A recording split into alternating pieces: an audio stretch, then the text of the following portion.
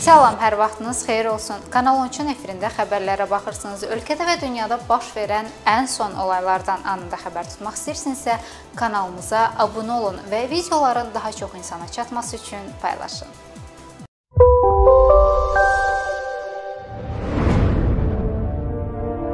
Ağdam şəhəri minalardan tam təmizlənib. Bu barədə məlumatı Mətbuata Ağdam rayon icra başçısının müavini Allahverən Əliyev deyib. O deyib ki, şəhərin ərazisi minalardan təmizlənib və artıq abadlıq, quruculuq işləri görülür. Əraziyə elektrik enerjisi, su xətləri çəkilir və yollar tikilir. Xatırladaq ki, Anamanın iyulun 30-na olan məlumata görə işğaldan azad edilmiş ərazilərdə aparılan mina təmizləmə əməliyyatları zamanı 3500 hektar ərazi mina və partlamamış hərbi sursatlardan təmizlənib. 20 min mindən çox mina və partlamamış hərbi sursat aşkar edilərək zərərsizləşdirilib.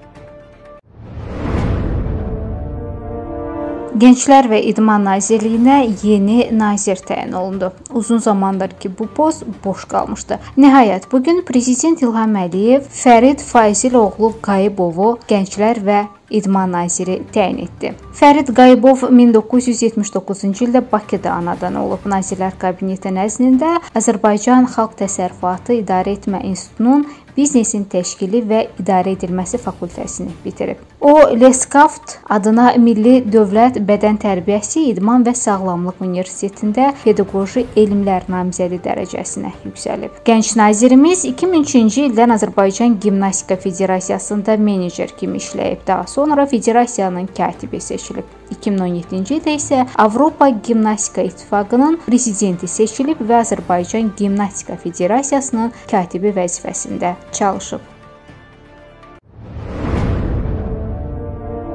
Yeni dərs ili ənənəvi formada başlayacaq. Təhsil naziri Emin Əmrullayev bu gün keçirdiyi brifinqdə bu barədə məlumat verib. O deyib ki, bu il yeni dərs ili sentyabrın 22-sindən başlayacaq. 1-ci, 4-cü siniflər sentyabrın 22-sindən, 5-11-ci siniflər isə sentyabrın 29-undan dərs ilinə başlayacaqlar. Ali, orta ixtisas və peşə təhsili müəssisələrində də tədris sentyabrın 29-undan əyani olaraq həyata keçiriləcək. Tədris olunmayan dərs saatları isə il ərzində tətil günləri hesabına bərpa ediləcək deyə nazir bildirib. Dərs vaxtı şagirdlərin maska taxmasına gəlincə isə nazir bildirib ki, şagirdlər məktəbə gedəndə maska taxması valideynlərin öhdəsinə buraxılır. Valideynlər istəyirlərsə şagirdin maska taxmasını təmin edə bilərlər deyə o bildirib.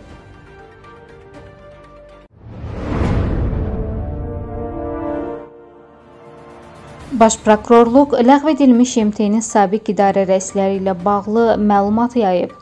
Prokurorluğun mətbuat xidmətindən verilən məlumata görə Azərbaycan Respublikasının ləğv edilmiş Milli Təhlükəsizlik Nazirliyinin hərbi əks kəşfiyyat baş idarəsinin sabiq rəisi Şirinov Nizami Talışoğlu və digər vəzifəli şəxsləri tərəfindən qanunsuz əməllərə yol verilməsi faktları ilə bağlı Baş prokurorluqda olan cinayət işi üzrə istintaq yekunlaşdırılıb. Nizami Şirinovun həmin vəzifədə çalışdığı müddətdə qeyd edilən qurumun tərkibində olan idarələrin rəisləri işləmiş Elcan Abdullayev və Elman Tahirov, əməliyyat müvəkkili işləmiş Nadir Nəzirov ilə mütəşəkkil dəstə tərkibində zərər çəkmiş şəxsin və onun yaxın qohumlarının şəxsiyyətləri üzərində zor göstərilməsi, haqqda rüsvayedici məlumatlar yayma hədəsi ilə ayrı-ayrı şəxslərin külli miqdarda əmlaklarını və pul vəsaitlərini ələ keçirməsinə, xidməti vəzifəsinin icrası ilə əlaqədar qanunsuz hərəkətə görə, eləcə də xidmət üzrə ümumi himayədarlıq müqabilində külli miqdarda rüşvəti hədə qorxu tətbiq etməklə almasına, həmçinin cinayət yolu ilə əldə edilmiş külli miqdarda əmlakın leqallaşdırılmasına əsaslı şübhələr müəyyən edilib. Nizami Şirinova Cinayət Məcəlləsinin 182.3.2 193-1.3.2, 311.3.4 və digər maddələri ilə itham elan edilməklə barəsində məhkəmənin qərarı ilə həbs qətimkan tədbiri seçilib. Elcan Abdullayev, Elman Tahirov və Nadir Nəzirov həmin məcəllənin 341.2.1, 341.2.3 və digər maddələri ilə təqsirləndirilən şəxs qismində cəlb edilməklə barələrində başqa yerə getməmək haqqında iltizam qətimkan tədbiri seçilib.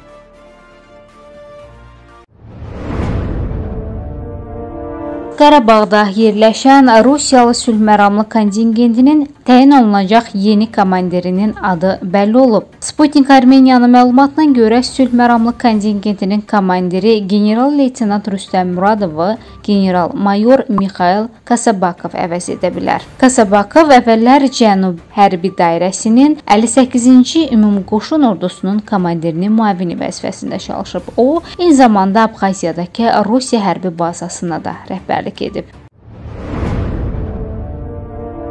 Bu gün Bakı Ağır Cinayətlər Məhkəməsində Alim Qasımovun kürəkəninə hökm oxunub. Hakim Səbuh Hüseynov Alim Qasımovun kürəkəni Elnur Mövlanova 9 il müddətinə azadlıqdan məhrum etmək cəzası verib. Hökmdə deyilir ki, zərər çəkmiş qismində tanınan xalq artistinin həyat yoldaşı Tamila Aslanovaya dəymiş 51620 manat mülki iddia təmin edilsin. Xatırladaq ki, Elnur Mövlanov Cinayət Məcəlləsinin külli miqdarda ziyan vurulmaqla törədilən dələduzluq və insanların həyatı və sağlamlığı üçün təhlükəli olmayan zor tətbiq etməklə törədilən soyğunçuluq maddələri ilə ittiham olunur.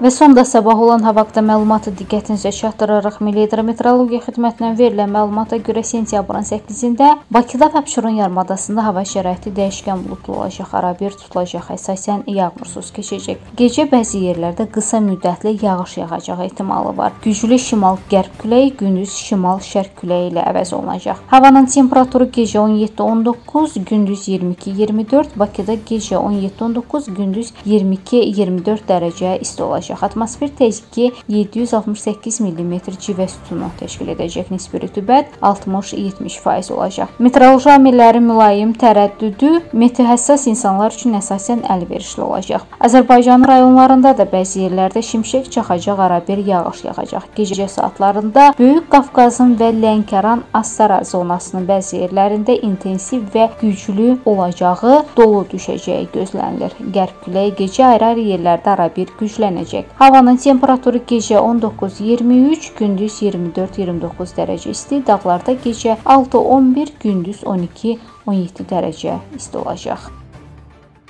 Bax belə bu günlük və bu saatlıq bizdən bu qədər.